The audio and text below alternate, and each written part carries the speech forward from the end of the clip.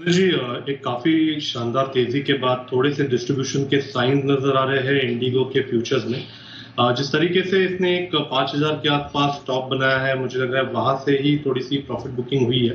And फ़िलहाल एक important support है 4800 का। ये पर्टिकुलर सपोर्ट अभी चैलेंज कर रहा है तो मुझे लग रहा है जिस तरीके से डेटा है ब्रेकडाउन के संकेत ज़्यादा नज़र आ रहे हैं। जो इंटरमीडिएट सपोर्ट है उसके बाद वो लगभग अराउंड 4600 के आसपास का है। तो यहाँ पर फ्रेश शॉर्ट्स ऐड करने की सलाह होगी। इंडिगो के फ्यूचर्स में एक ओपन हाई इसने ऑलमोस्ट एग्जिबिट किया है फोर्टी एट सेवेंटी के आसपास का। तो स्टॉप लॉस आपको लगभग around forty eight seventy two पे प्लेस करना है। एंड फ्रेश शॉर्ट्स ऐड करने हैं इंडिगो के फ्यूचर्स में।